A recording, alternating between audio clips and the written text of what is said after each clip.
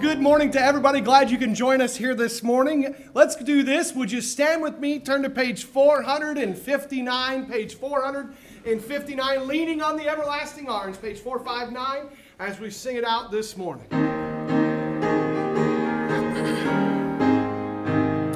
What a fellowship, what a joy divine,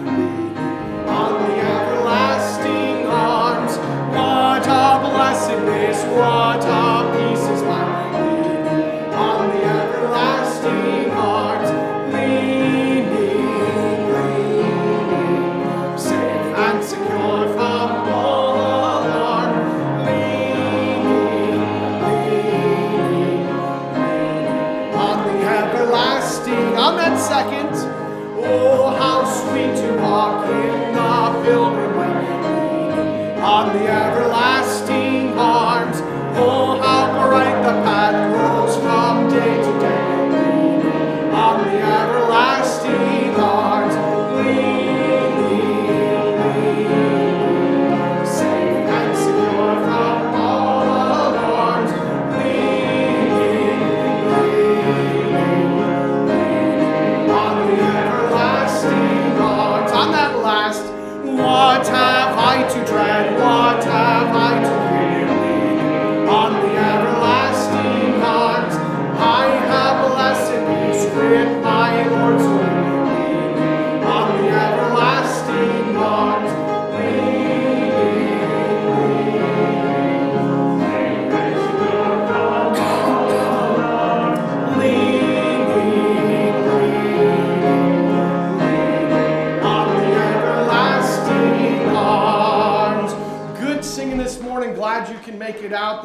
Us a good day to come and worship. If you see some people not here, there are uh, several families who are traveling to go visit their uh, family in other cities, and so keep them in your prayers. And uh, but I'm glad you're here. We're going to go ahead and open up in prayer. Clayton, would you please open, please, in prayer? Dear Lord in heaven, we thank you for allowing us to be here today in your house, God, and thank you for the safety of everybody making it here. I pray you just please be with those who weren't able to be here today and just comfort them and just take care of them, dear Lord. And be with those who are traveling this weekend as well to go and see family, and their mothers, or anything like that. I just pray you please put a hedge of protection over them, God, and just we thank you so much for all the mothers here in in our presence, and thank you so much for everything that they've done and all the strength that they have, God. And I pray you please be with those that that may be kind of having a little bit of a rough time today. Uh, I just pray that you comfort them and give them peace and, and joy in their hearts, dear Lord. In Jesus' precious name, pray, God. Amen. Amen. Amen. Let's go ahead and turn to page 277. What if it were today? Page 277. What if it were today?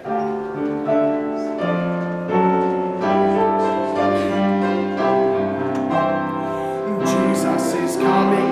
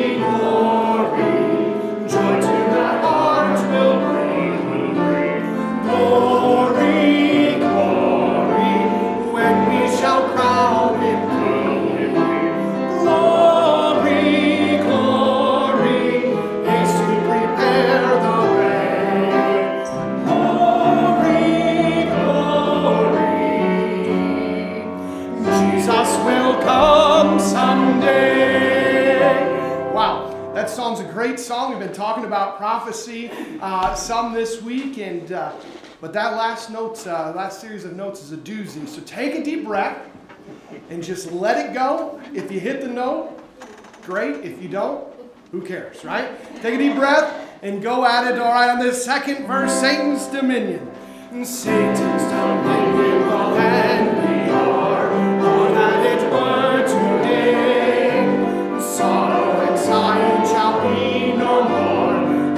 that it were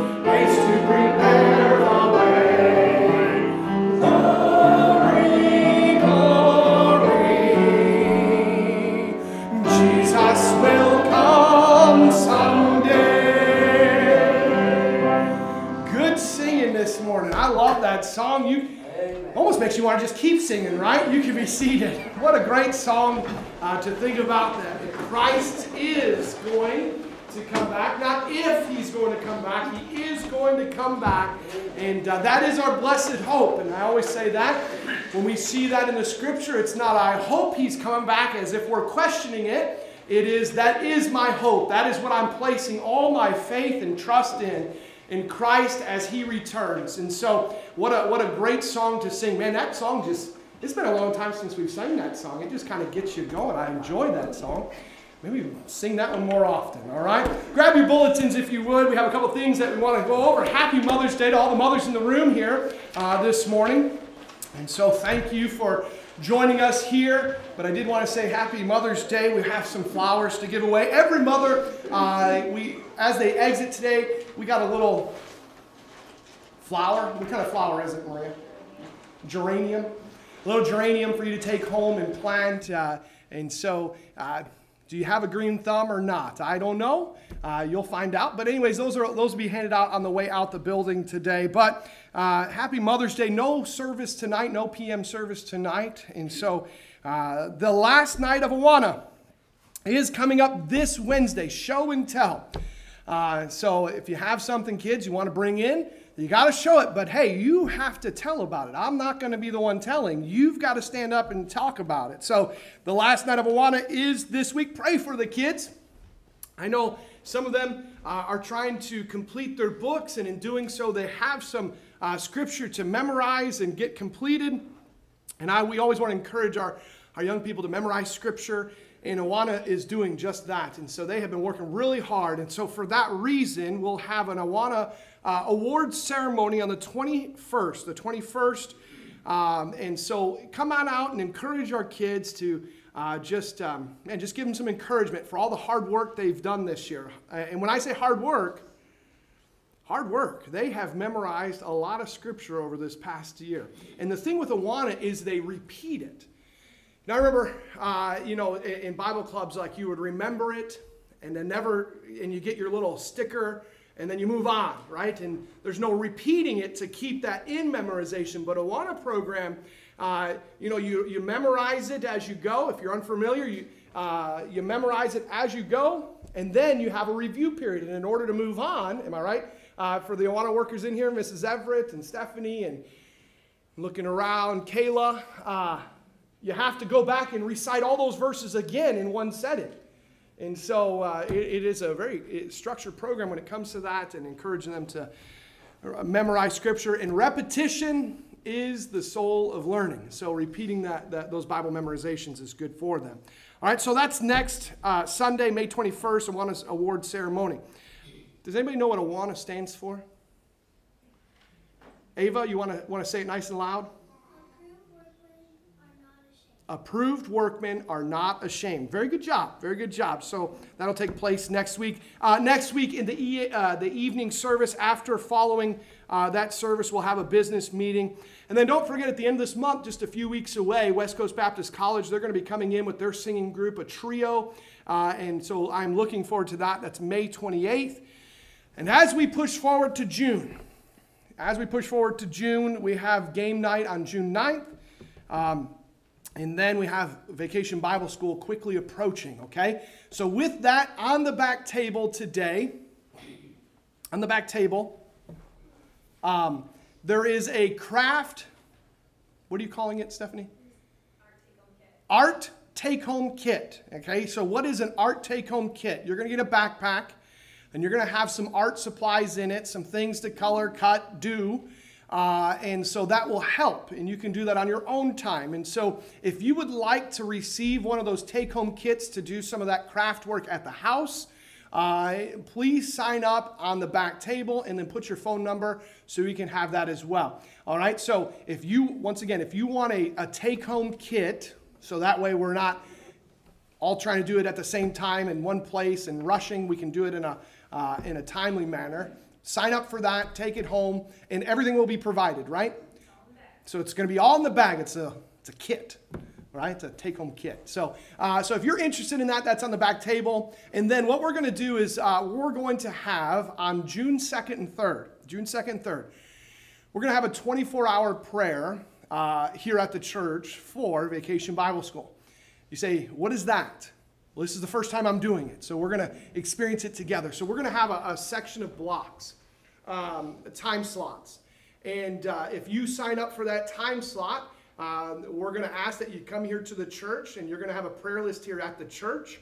Uh, and we will be praying here at the church in a 24 hour rotation, nonstop for 24. Well, you have to maybe wait for the one to come in and out. But uh, the idea is that we are going to, as a church corporately, uh, and individually at this moment pray for 24 hours over Vacation Bible School. So there'll be some time slots uh, available. So if you have any questions, come see me. Uh, but there'll be somebody here rotating, uh, kind of just kind of being an overseer. But, um, but if you would like to sign up for one of those slots, we're going to have a sign up sheet for that. So that's June 2nd and 3rd, a 24 hour prayer for Vacation Bible School and what we're praying for. You have a list of things that we're, we're specifically asking God uh, to do and help us with in, as, it, as it entails Vacation Bible School, okay? There'll be a craft night, uh, not craft night in the sense of let's uh, get together and build something uh, to take home. This is, this is more of a work night for the church. So May 16th at 6:30, if you want to avail yourself up here, there'll be stuff to do so we can uh, help spread out the workload amongst multiple hands rather than just a few. So, a couple dates to remember May 16th, 6:30 p.m. Be here. Uh, and then uh, be thinking about that June 2nd through the 3rd 24 hour prayer here at the church, okay? Uh, and so, with that being said, it is Mother's Day, and we have some flowers to give away. Uh, and all we're trying to do is just say, hey, the Bible talks uh, much about uh, women and much about mothers. And so uh, we are on, we're going to honor mothers here as well today. And so, with that being said, how are we going to do it? We've done the questions about who's driven the furthest, who's the newest mom. We've done those. We've done those before, and we're going to mix them in. But we're going to have some trivia as well. Okay, some trivia as well. So if you're a mom here, you get to participate. Uh, and so here we go. We will say this. We will say this the newest mom, we've got a lot of new babies in the congregation, and uh, it's an amazing thing. And, and uh, I think we all, I, I want to do give the newest mom, the newest mom. So the newest mom that I know of that's here is Megan Baker. Uh, and so Megan Baker, she's being a mom in the nursery. So Kyle, would you come up and, uh, and, and um, select one? You've got your choice up here. I don't know what they are, but they're different. What's that? It's petunias or impatiens? What's the difference what's the difference? Ask Judy. Judy knows. Which is easier to do? Impatiens are easier. What do they look like?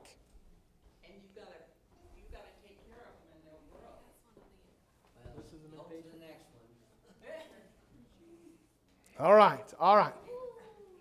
There you go. All right. So, um, but man, we have, I, I, tell you what, I'm so encouraged. And one of the things that we're working on is we are working on a toddler's room down in the basement. Judy always reminds me that's what I prayed for, right? We, every time we have uh, another baby, Judy goes, Now, preacher, you prayed for this. And I did, and we did as a church. And we, we acted upon faith, moving a nursery up here when we didn't have any babies at the time to even put into the nursery.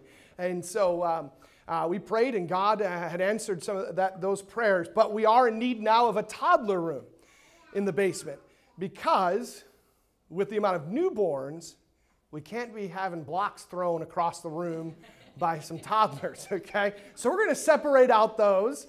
Uh, when you think about it, here's where, here's where the Lord's done. And, and praise the Lord for, for the young families in the church. And I think I was doing, we'll have four babies, newborns, within maybe five, within two months of each other. That's incredible. And so that's an awesome thing to have. Uh, but in doing so, we need to move out some of those older kids that came last year. And so the old nursery in the basement is going to be converted into a toddler's room because it has an adjoining restroom there. And so uh, pray with us about that. Now, in order to do that, this wasn't part of it, it's ad lib. So my wife gets worried in these moments. But, um, but we need workers, okay? We need workers. So if we're going to add another class, we need people to help with that. So I want you to pray about that and, uh, uh, and think about could I fit now, it takes a special person to go take care of the toddlers because those are the ones that are walking. You know, newborns, you hold them. Everybody loves the newborns, right? Toddlers are the ones that are walking. Toddlers are the ones that are throwing the bricks across the room, okay? So takes a special person. So if, you're praying, uh, if you would pray about that, we do need workers uh, to help with that class, okay? The next question here, okay? As we look in the scripture, right, uh, we see we see women throughout it. Okay? Who, now, moms, this is not a raise your hand. Okay? Uh, this is just say the name. Okay? Uh, who married a king that saved the children of Israel? Because for such a time as this, was her famous statement. Moms, who is it? Oh man, I have no idea who said that first. who said that first? I don't know. Help me out. Charlotte? You said it. Come on up, Charlotte. Pick it out here.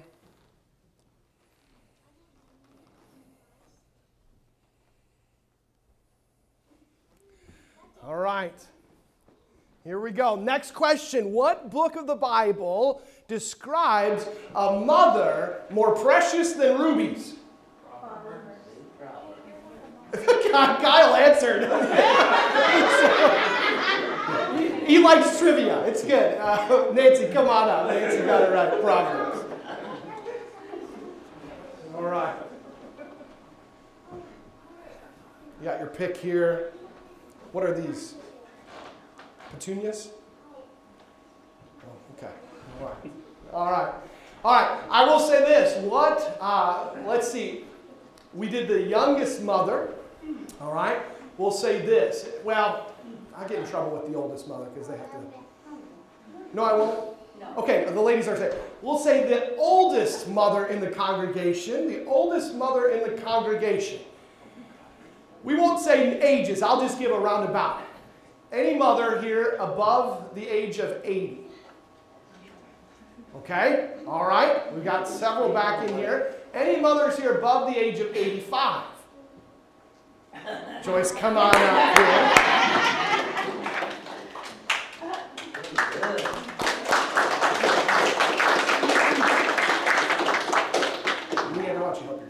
You can pick anyone you want.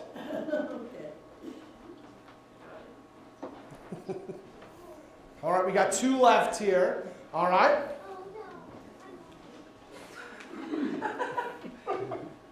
Oh, all right, all right. Let's see, we'll go an easy one here. Who was the first mother of that's recorded in Scripture? Liz, good job. Liz, good job. The first Eve, Eve was the first mother recorded in Scripture.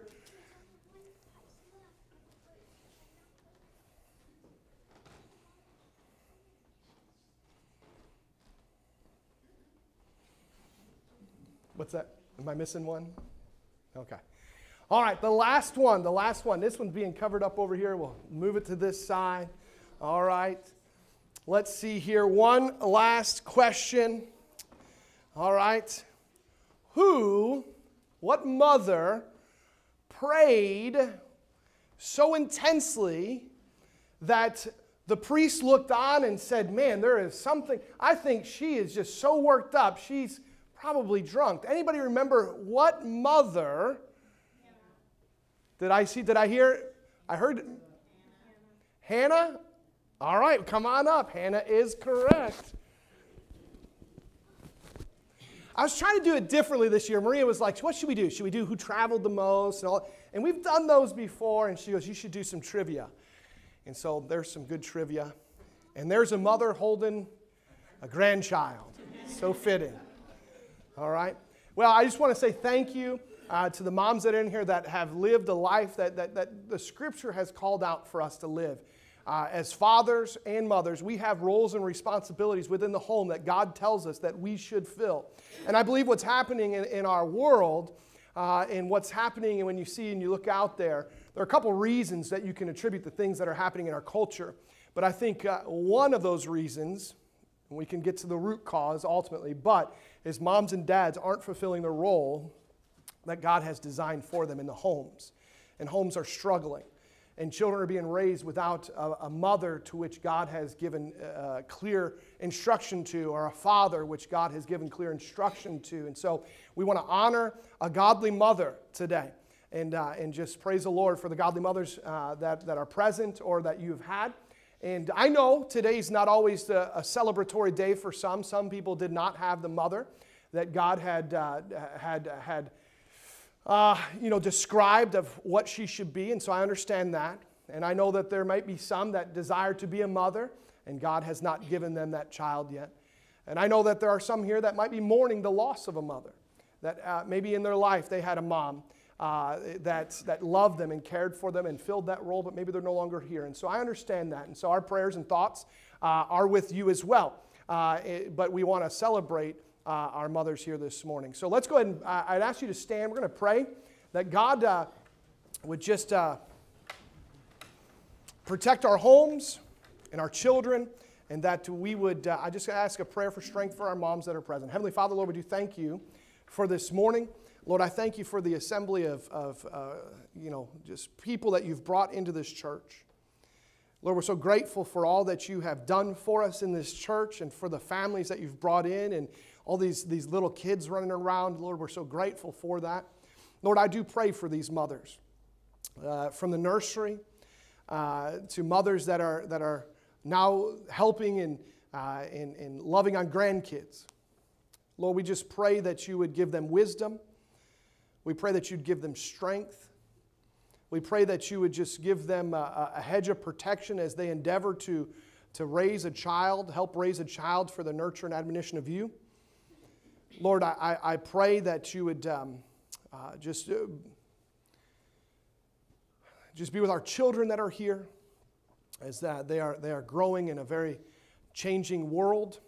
Uh, Lord, a world that is, that is becoming more and more intolerant of your ways. Lord, your truth. And so I pray for our children. I pray that uh, they, would, they would fulfill their role in the home of honoring their mother and father. Lord, we love you and we praise you, and uh, we thank you for your word to which we have that we can learn from and glean from and understand uh, this morning. In Jesus' name we pray.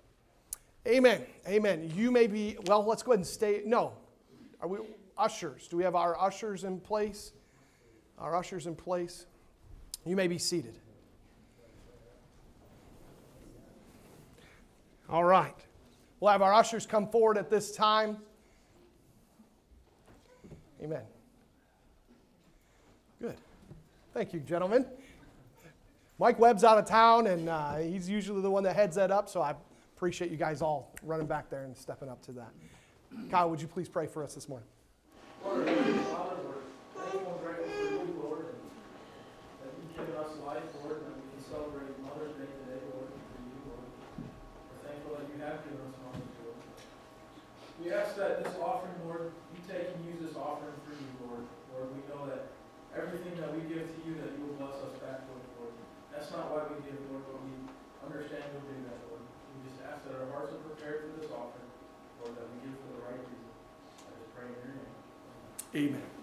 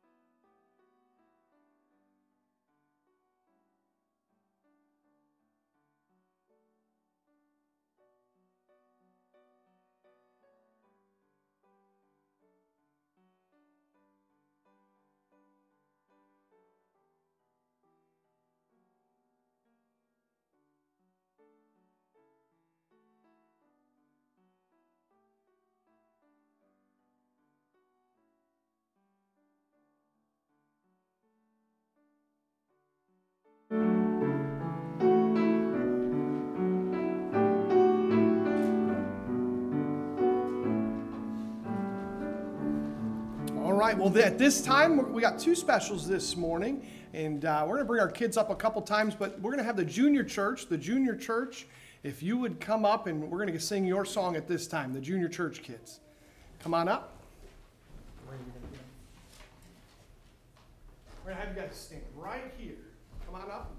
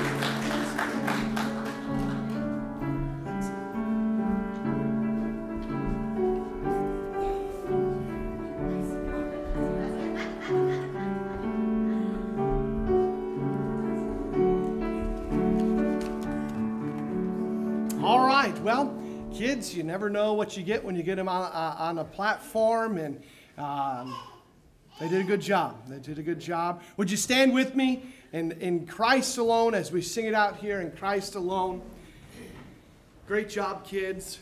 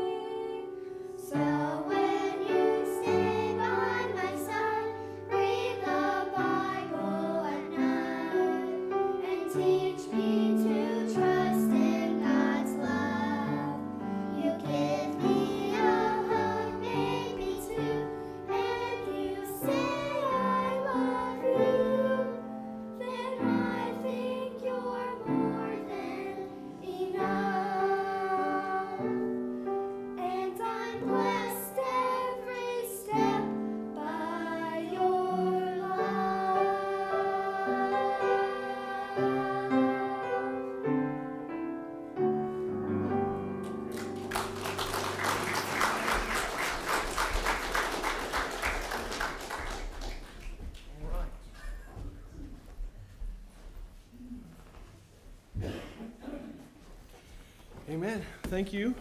You kids can be dismissed. I thank the Lord for the, the parents that he, the mothers that he gave me, the wife that he gave me, that, that, uh, they're all leaving, that, uh, that just uh, does try to teach our, our children God's truths and God's word. And so, uh, if you have your Bibles here, Matthew chapter 15. Matthew chapter 15 is where we'll find ourselves today.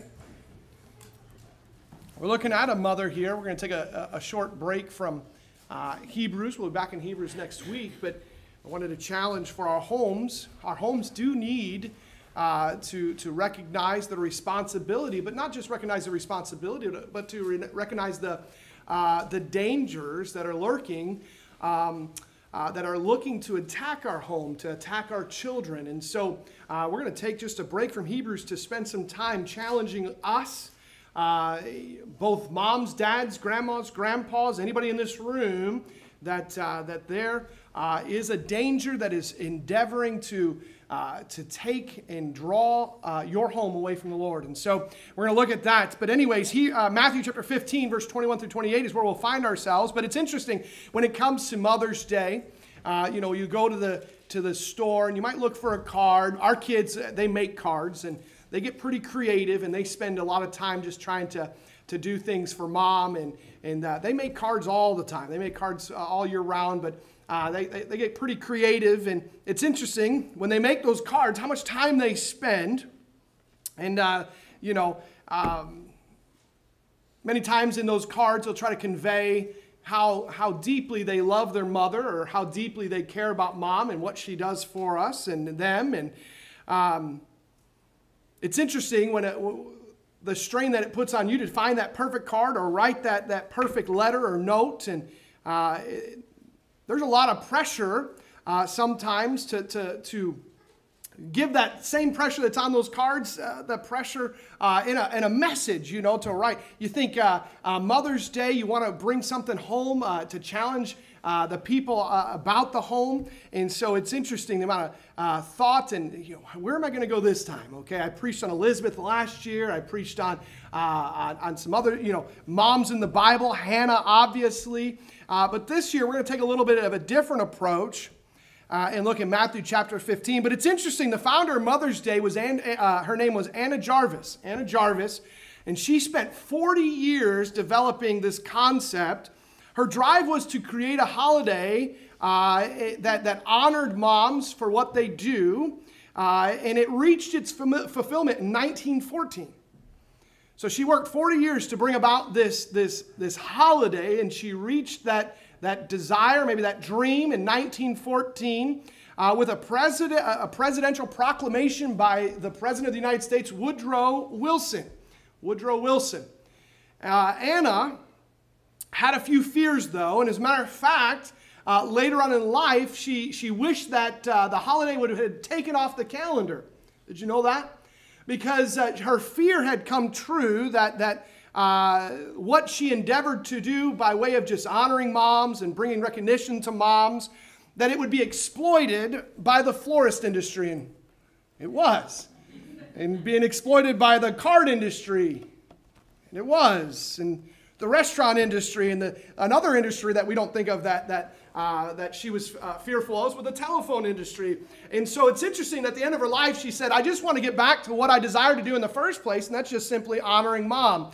But nonetheless, uh, We'll do those things to honor mom. We'll send her a card and we'll buy her flowers. But I'm going to challenge you don't wait for just this day to do that. That should be a daily part of your life. Why? Because the Bible teaches us to do these things. The Bible teaches us that, the, that our mothers are of great importance in the home. Our mothers are more precious, okay? So don't just wait to this day. As a matter of fact, if you're waiting to this day to do this, uh, uh, to, to honor your mom, can I tell you, uh, you're not living according to the scripture, okay?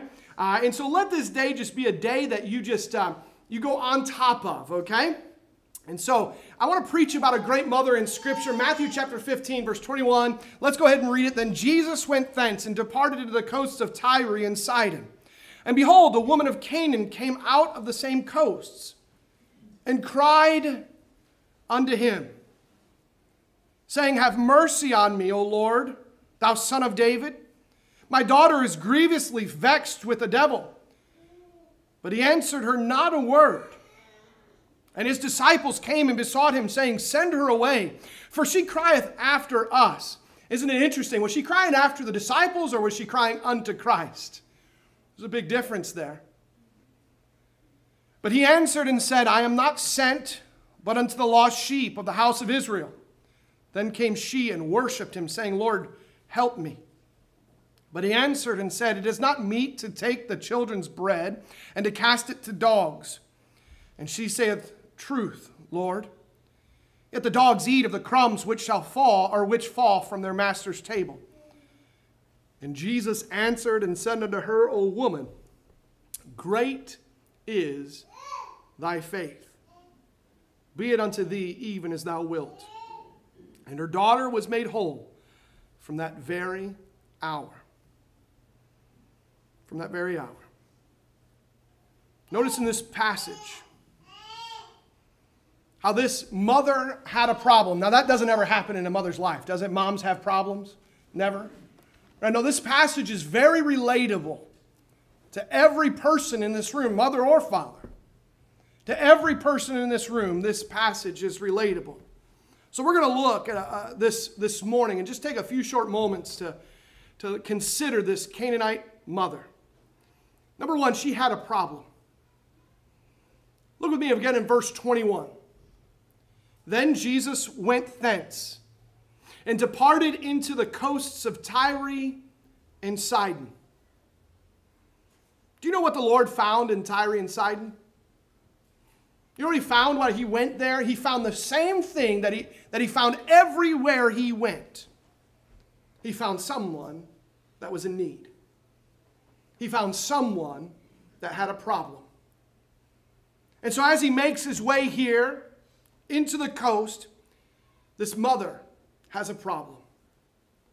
I, I, I, guarantee you can, you can open a phone book, call any mother at random, and you'll ask her, and she'll probably tell you that, yeah, there's issues, there's problems. Mothers are very special people in our lives. They are. They're very special people in our lives. There, there, there's a junior high science teacher, and he lectured on the priorities of magnets, magnets for the, uh, the, the, the, properties of magnets for the entire, entire class. So he's sitting there in the science class and he's discussing these magnets and, uh, and told them that there'd be a quiz tomorrow. The next day, he gave the students a quiz. And the first question read like this My name begins with M, has six letters, and I pick up things. What am I? Half the kids in the room didn't write magnet, they wrote mothers or mother. As Jesus went into the coast, there was a mom that had a problem. In any city, at any house, there could be a troubled mother. And the lady in our text was no exception. Let's look in verse 22. What was her problem? What was her problem? Verse 22, it says, And behold, a woman of Canaan came out of the same coast and cried unto him, saying, Have mercy on me, O Lord, thou son of David. My daughter is grievously vexed with the devil. Notice this mother knew exactly what was wrong with her child. She knew exactly what was wrong with her child, and she said this My daughter is grievously vexed with the devil. I'm going to tell you, uh, this mother was very, very smart. I'm going to, I'm going to give you this this morning. Uh, the smartest mothers on earth recognize two things that there is a devil. There's a devil. He's real, and he's trying to attack the home. I say he's uh, the home. There's no news to you today that the home is under attack. The devil is out to destroy your children. He is. Now, let me ask you this. There's not a mother in here, if she knew that someone was out to destroy her children, there's not a mother in here that wouldn't do everything she can to keep that from happening. Is that a truth here this morning? Look, I've seen Mama Bear in action. I've seen it. In my wife, I've seen it my own mother. You mess with her kids, there is a truth to that. And I'm going to tell you, there is a real devil, and he is trying to destroy your children. And this mother knew it.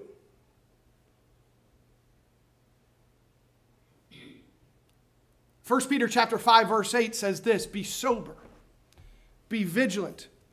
Because your adversary the devil is a roaring lion walketh about seeking whom he may devour. devour. You know he's seeking to devour? He's seeking to devour your children.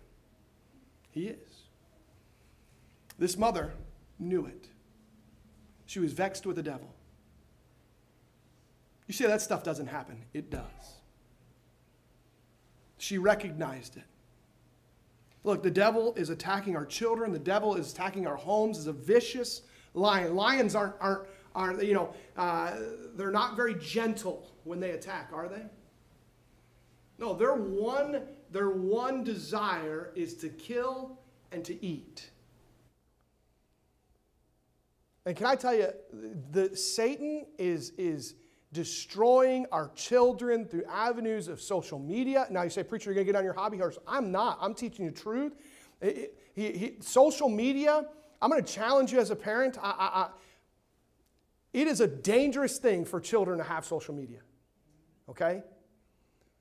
Uh, and if you want to talk to me outside of, a, uh, outside of the message and want to have a conversation around it, we can. But I'm telling you, it is, Satan is using social media to destroy children. There's no question about it. Can I tell you, Satan's using social media to destroy homes, period. Be very careful with this. You know, a, a, smart mother recognizes that Satan is real and he is set to destroy your home, your children. One of the avenues that he's set to do it is through, through, through, through social media, through, uh, can I tell you, be careful of even education. You say, well, sending my kid to school, that's an innocent thing. Yeah, but it's it, what's being taught in schools. He's set to do it through entertainment. A smart mother recognizes that Satan is out there to destroy her children. Now, there's people out there running around. I don't believe there's a devil. Can I tell you, that's exactly what the devil wants you to believe. That's exactly what Satan wants you to believe. Satan doesn't want a- anyone to realize that he's the one responsible for all the evil in the world. You see, the mother of our text had a problem. Her daughter, she, she knew, and she knew what the problem was. The devil was out to destroy her daughter. So what did she do? She sought the only one that could fix it. Here's what she said My daughter is grievously vexed with a devil. Now, whether that be under attack, whether that be possession, we don't know, but she's grievously vexed with a devil. She had a problem, but she had a plan. She had a plan. Now, we do have many, many, many parents in this world that don't know what to do with their problems. Moms, dads, they don't know what to do with their problems.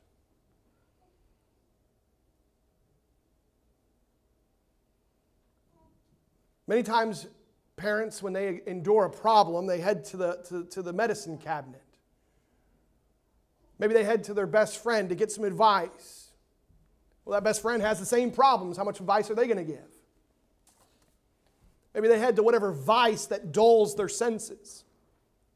This mother knew her daughter was under attack. Satan was real, and she knew it, and she recognized that, that Satan was vexing her daughter, and she had a plan.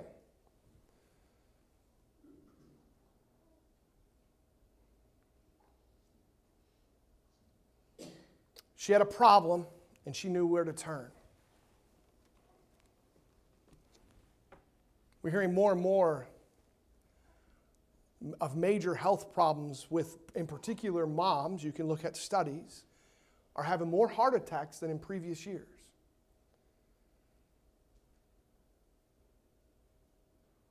Could it be that they don't know where to turn for the problems that they face? Once again, the mother of the text had a serious problem. Daughter was grievously vexed. Instead of worrying, now she no doubt worried, but that's not the end of her plan. She sought out the only one who could change it. You've heard the illustration about a mom and her worries. A, a, mo- a mother told her son one day, You're about to worry me to death. Look at all the gray hair I am getting. Look at all these gray hairs I'm getting. Every one of them is because of you. The little boy turned to his mother and said, Mom, I, I know I have worried you, but you have, uh, but I've not worried you as much as you've worried your mother. And the mom said, What do you mean? He said, well, Mom, grandma's completely gray. You, you must have been a holy terror when you were a kid.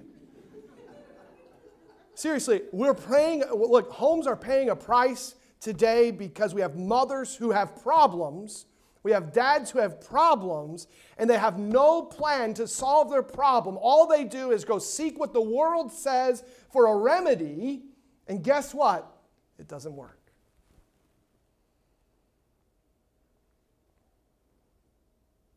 They live with their problems and they die with them. And I, I say it again the mom of our text knew exactly what to do. And she did the exact thing that every mom in this room should do. Look to verse 22. And behold, a woman of Canaan came out of the same coasts. And what did she do? And cried unto him. And cried unto him. Have mercy on me, O Lord, thou son of David. This mother knew how to come to the Lord. She came with tears. I'm going to tell you, this child was blessed with a mother that loved her enough to shed some tears to the Savior. The Bible said she cried unto him. These weren't fake tears, they were real.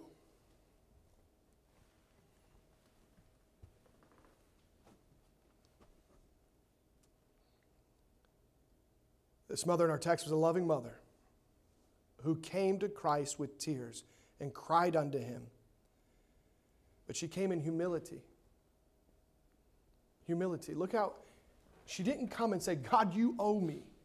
Christ, you owe me. You owe me this thing. Look, I've been in church every Sunday. You owe me this. That's not how she cried unto Christ, was it? Look at me in verse 22. What was her cry? Have mercy on me, O Lord, thou son of David. She knew that everything we get from the Lord is because of what? His mercy.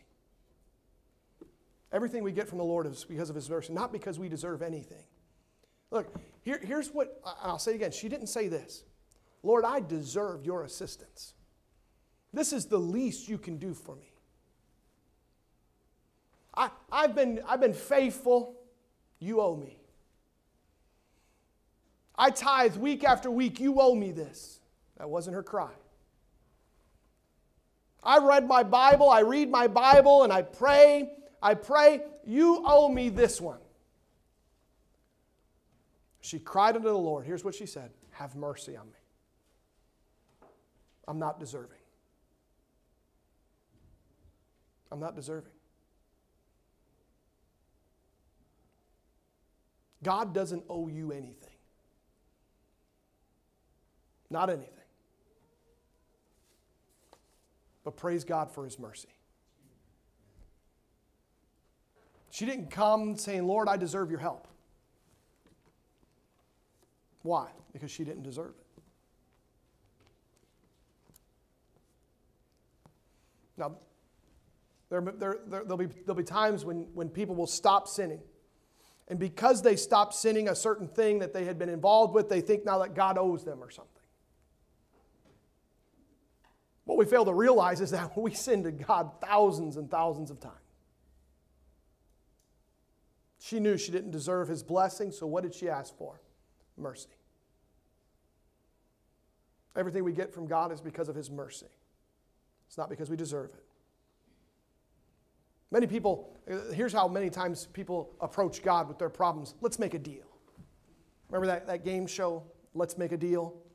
Right? And you, you, you gambled and you said, uh, you know, I'll, I'll take this for that or I'll take that by whatever the game. Let's make a deal. Do you have this on you? I'll give you this if you give me that. I tell you, that's not how we approach God.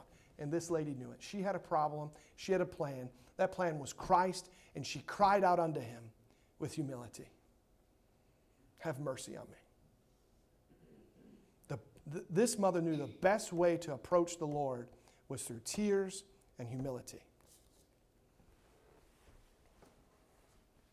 We need, uh, we need, as parents, to get desperate enough to shed tears for our children, to humble ourselves before our Almighty God and seek His mercy. This mother prayed. Here's what she prayed Have mercy on me, O Lord. She had a problem, she had a plan. I want you to notice this. Well, let's get to she had a provider. She had a provider. Notice here, she came to the Lord for his help, and she had to overcome a few things. She had to overcome his silence. She cried unto the Lord in humility, and what was Christ's response? What was his response? Silence. And he answered her not a word.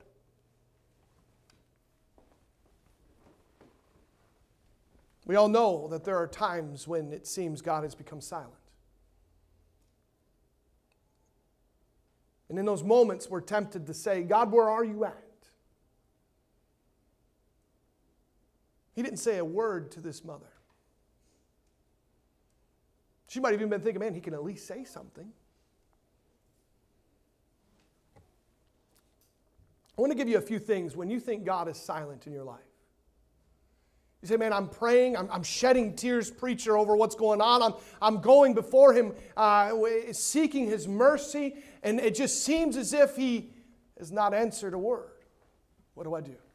Let me give you a few things here. I want, to remember, I want you to remember Job. Remember Job? I mean, when you think you're going through something hard, man, I'm telling you, his go to Job. I'm not saying that what he went through is, is much greater than yours. I mean, he went through some tragedy and some amazing things, but go beyond that. Go to the, go to the example that you have found in his life.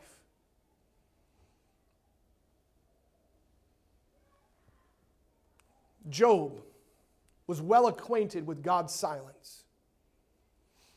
If you read the book of Job, Job cries out in pain and suffering he asks, Job even asks for answers. Why is this happening? He kept asking. But I want you to realize for 37 chapters, no response. No response. You know what Job went through. I don't have to repreach that message. Losing family, losing livelihood, losing property, losing his friends. And he asks God and he pleads God for answers, and God is silent for 37 chapters. His cries to God was only met with silence.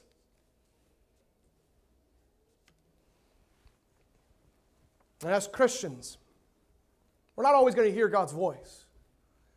But I want you to look from Job, we can learn some practical things. I want you to, number one, start by examining your life.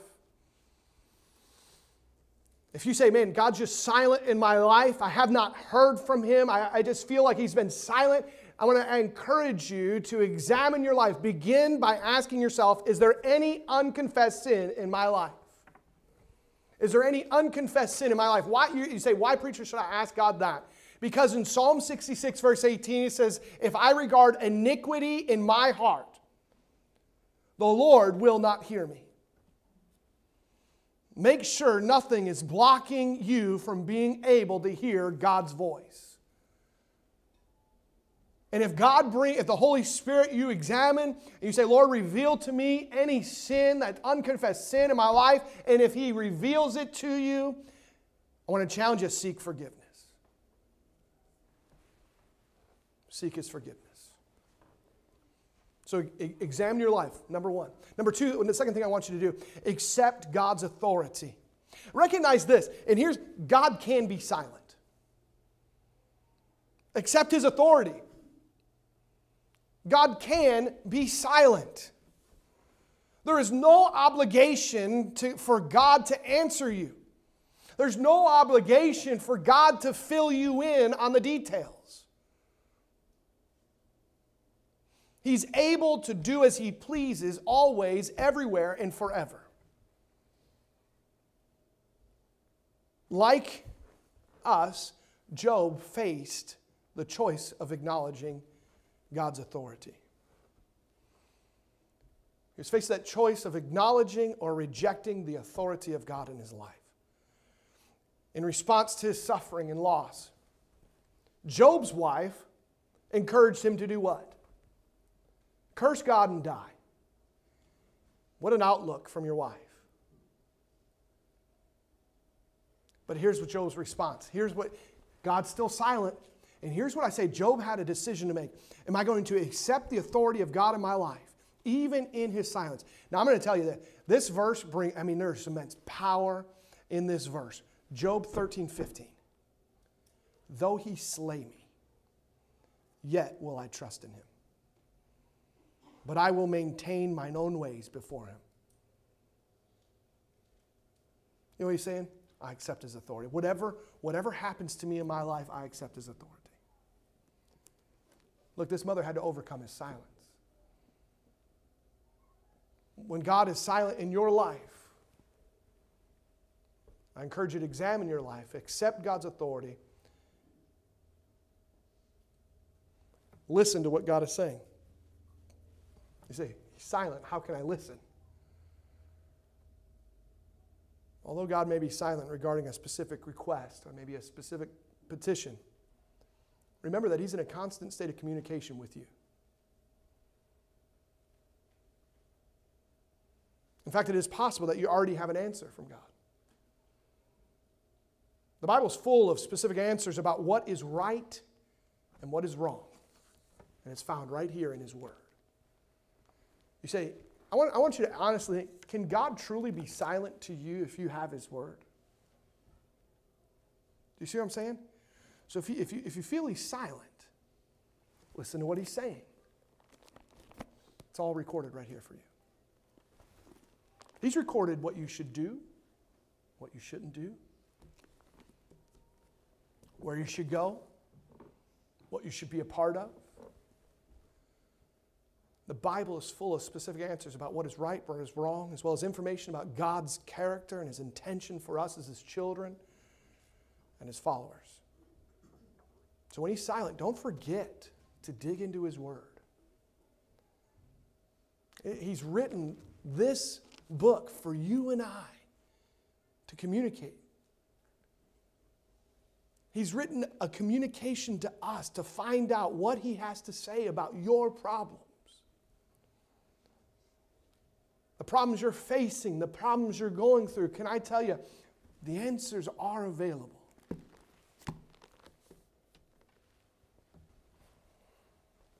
So, examine your life for unconfessed sin, accept God's authority, listen to what God is saying. Look, recognize this that silence can be intimate.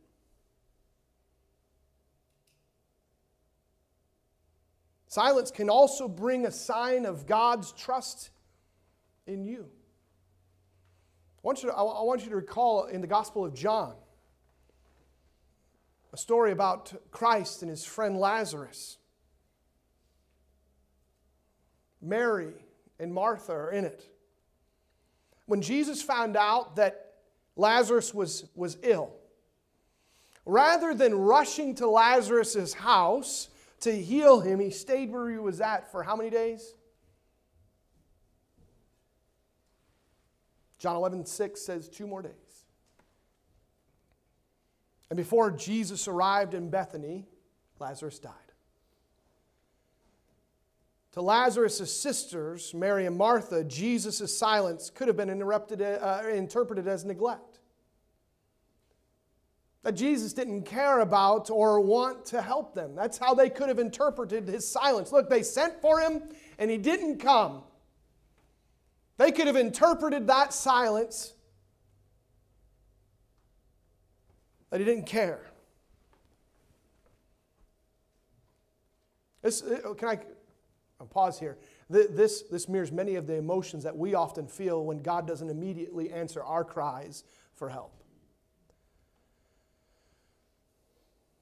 But in Jesus' silence, Mary and Martha are drawn into a new closeness and understanding of his power. Think about this. Had, had he rushed to his aid and healed them, would they have ever witnessed the miracle of their brother raising from the dead? Would they have witnessed the extreme power of Christ? Four days after he had died, he waited two days. Four days after he had died, Lazarus was raised from the dead by showing his power. Oswald Chambers said this when, when you cannot hear God, you'll find that he has trusted you in the most intimate way possible, with absolute silence. Not a silence of despair, but one of pleasure because he saw that you could withstand the even bigger revelation. When you are completely comfortable with a person, it is possible, when you're comfortable, it is possible to sit in a room together and not utter a word. It's possible when you're completely comfortable. It is. You've been there. You've been in that, that, that doctor's office where you don't know that person uh, across the way and you sense that just that uncomfortableness and you try to avoid contact. You're like, I'm not looking over there. It's like awkward, right? You sense that. But when you're when you're comfortable with somebody and you sit in that room, look, a word doesn't even have to be muttered.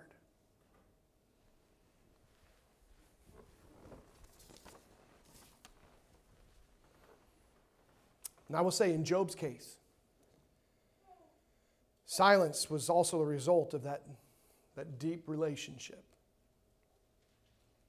You say, when, when Satan approached God, in Job chapter 1, verse 8, God said this And the Lord said unto Satan, Hast thou considered my servant Job? There is none like him in the earth, a perfect and upright man, one that feareth God and escheweth evil. God trusted him. The fifth thing I want you to do in, in those moments that you feel as if God's being silent, keep talking. Keep talking. Just because God seems silent doesn't mean you should doubt him or stop praying. God's silence isn't a license for you to turn your back on him. And it, it, here's what it really is it's an invitation to press forward, seek him more diligently. The psalmist uh, David wrote these words in Psalm 22 2. It says, Oh my God, I cry in the daytime, but thou hearest not. So he doesn't give up here, does he? Does the psalmist give up here? He says, I cried in the daytime, you, you didn't say anything, so I'm just done. That's not what the psalmist records here. He says, I cry in the daytime, but thou hearest not, and in the night season, and am not silent. He says, I'm going to keep going. Job, all, all through those 36 chapters, he's continuing to cry, asking God to answer. And guess what? God answers his prayer. This Canaanite woman had to overcome the silence of the Lord.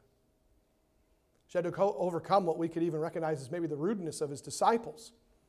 Think about this.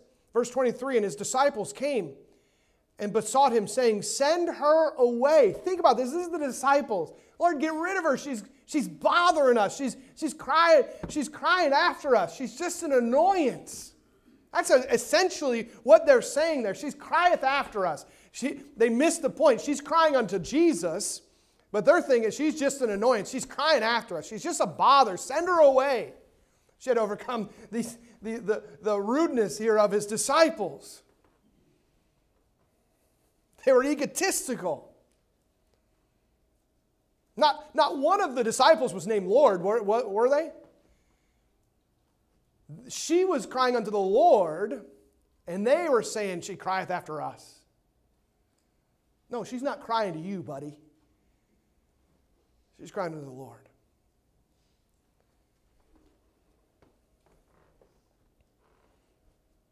Why you stop bothering us? It's annoying. Why are you doing that? The world looks at you and say, why are you, why are you doing that? Why are you going down the church? Why are you, why you continue to pray? Don't you know that problem that in your life, it's not going to get solved by just praying to God? Isn't that how often the world looks at us? She had overcome her rudeness. It's interesting here. Look at verse 22, how she addresses the Lord. O Lord, thou son of David. She had no claim on the Lord as a son of David, but yet she addressed him that anyway. She was a Syrophoenician woman. That's what she was. She was a Syrophoenician woman. That's a mixture of several races. She was not a Jew. It's a mixture of several races. She was what we would say a true Gentile. And at first, he didn't answer. But look, when he answered her, look what she said in verse 24, or what he said in verse 20. But he answered and said, I am not sent, but unto the lost sheep of the house of Israel. That is, he's what he really saying. Jesus came fulfilling the prophecy as king of the Jews. When he died, that was the, the, uh, the, the, the, superscription above, the, uh, above him there on the cross. This is Jesus, the King of the Jews, in Matthew 27, verse 37. It's recorded for us. Jesus wanted to drive that stake in the ground that she might know that he was the promised Messiah. Look, I'm the promised Messiah. One day, that one day would sit on the throne of David. Look what he said next. But he answered and said, I am not sent but unto the lost sheep of the house of Israel. Then came she and worshiped him. Think about that. He's really, in a sense, he's not rejecting her. He's, he's stating, Look, uh, I'm, I'm here to fulfill uh, my role as king of the Jews. Then she came and worshiped him, saying, Lord, help me. But he answered and said, it, it is not meet to take the children's bread and cast it to dogs. And she said, Truth, Lord, yet the dogs eat the crumbs which fall from the master's table.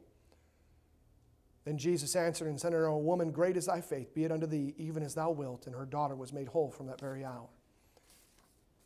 Look, the Jews considered the Gentiles, history lesson, which you probably already know, the Jews considered the Gentiles dogs. This was a Gentile woman, which was probably why the disciples were so rude to her, because they considered her a dog. She got the message here. She understood what the Christ was saying. Look at verse 27. Here's what she says. And she said, Truth. You're right. You're right. That's what I am. Yet the dogs eat from the crumbs which fall from the master's table. Here's, here, look at the humility of this mother. Look at what this mom did. It's as if she thought more or less of this this way. If you, if you want me to be a dog, I'll be a dog if it takes healing my daughter.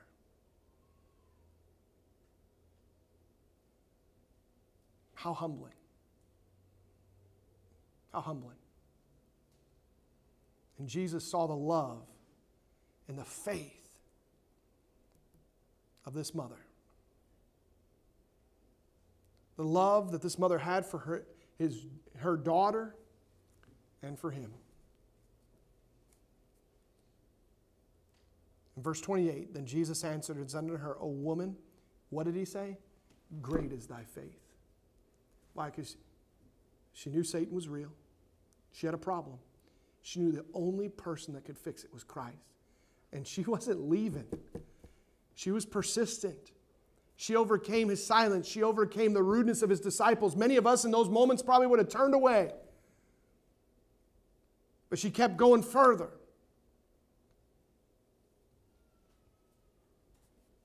What humility she showed.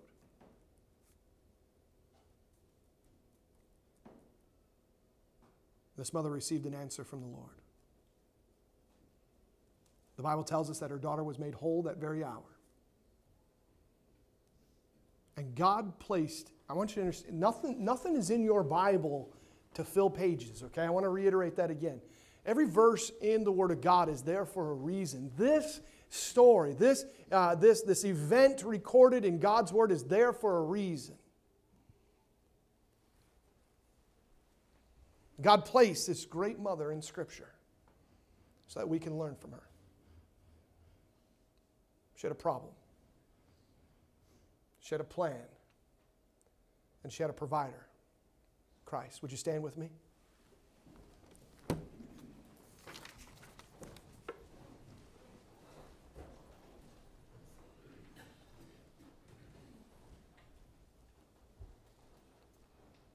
You're here this morning. Maybe you're going through a problem, but you've been going about seeking a fix to that problem in the wrong manner. Maybe you've been endeavoring to fix that problem the way the world does.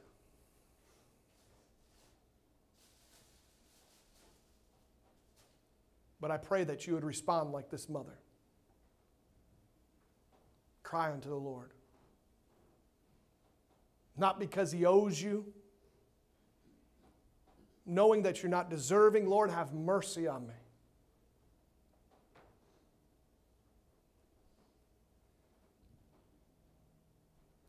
What did, what did Christ say of this woman's faith, this mother's faith? That it was great faith.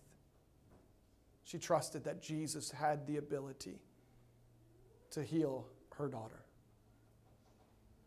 Do you have that faith this morning that God that God is the way, God is the answer?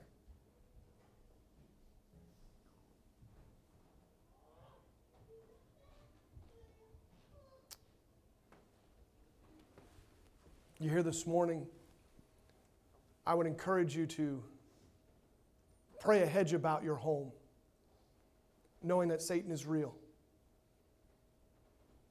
Be diligent as a parent, as a grandparent, understanding that Satan is seeking to desire or seeking to devour your children. Now, in warding off ways to defend that that attack may not be popular. It may not be, uh, it may not be, uh, it may be looked upon as the world as strange, weird, wrong. But I pray that you would have the courage to stand up and do what's right in your home scripturally in defending your children.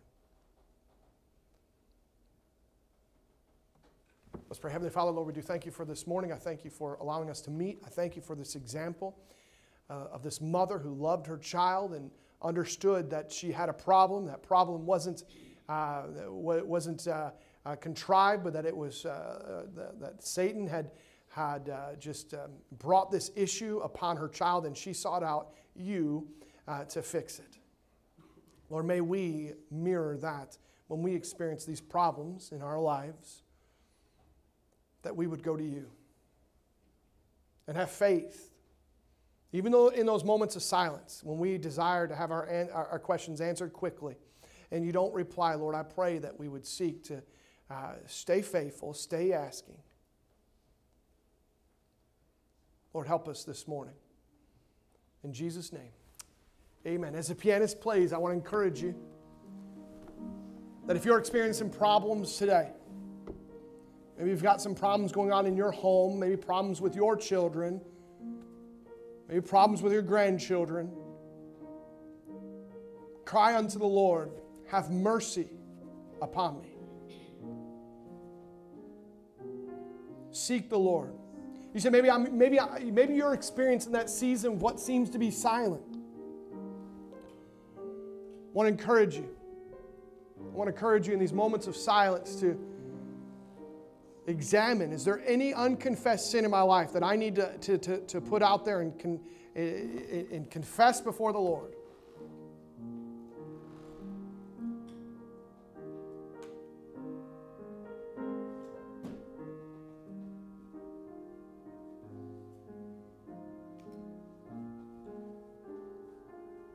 Trust in who God is.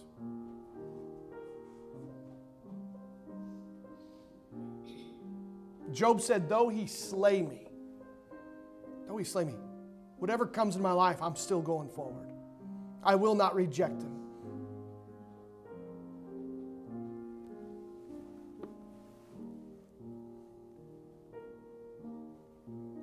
Maybe the world tells you you can't do it that way, but God's word says you should. Commit to obey God's word.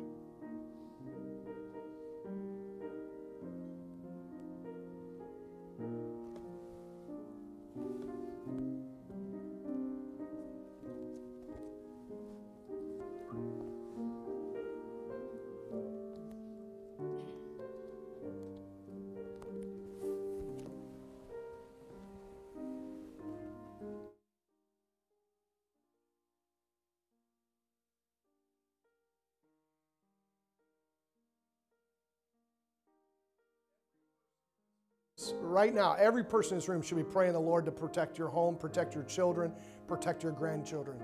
I'm telling you. I believe the Christian home is under attack like no other. I mean, there's so many things out there trying to draw your children, your grandchildren away. Take this opportunity today. Many of you, many, many, many young families in here have young babies, young kids, young children. And commit now that you're going to raise that child for Christ no matter what the world tries to tell you, that you're going to stay sober and vigilant to ward off the attacks that, that are going to come your way, and pray for your home. Grandparents, your children may not be in your home, and your grandchildren may not be in your home, but your prayers are, are, are not ineffective. Pray for those grandchildren.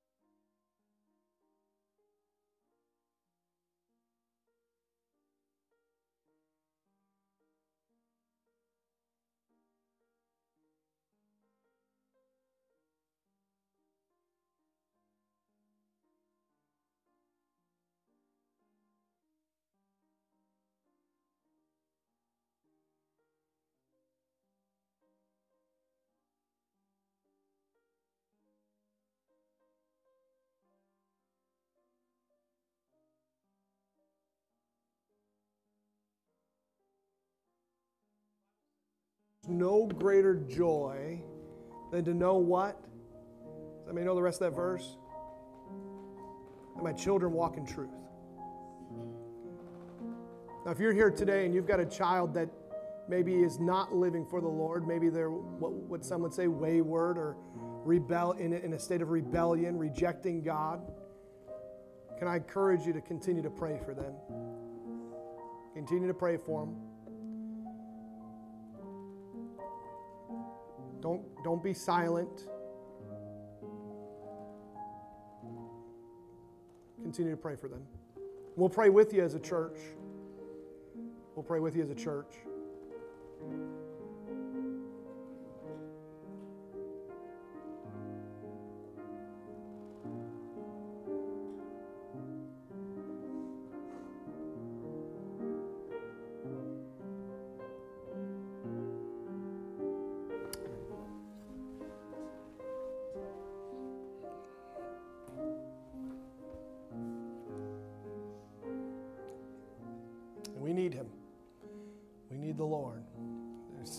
It's, an understatement, right? Uh, that we need the Lord. We need him in every area of our life. Raising children, trying to, trying to build a home that would glorify and honor him. Uh, we need him in every, every aspect. But anyways, I pray you have a great, I pray you have a great afternoon. No evening services tonight, anything that was on the schedule, uh, nothing, uh, no evening services. Uh, so I pray you have a good, uh, a good uh, afternoon. We'll see you back here Wednesday night. We'll show and tell for the Awana program. So parents, uh, don't forget, right? don't forget to, to, uh, to give your kids something or encourage them to bring something that they can talk to about. Anyways, God bless you. Have a great afternoon. We'll, we'll pray. Essie, would you please pray for our dismissal uh, and have a great afternoon? Thank you. Father, we thank you, Lord, for this day, Lord. Lord, just thank you for all the mothers here today, Lord. And Lord, just ask you, Lord, to be with them the rest of the day, Lord. Give them a special day, Lord. And Lord, just ask you, Lord, to bring us back to point in time and just want to pray. David, David, thank you.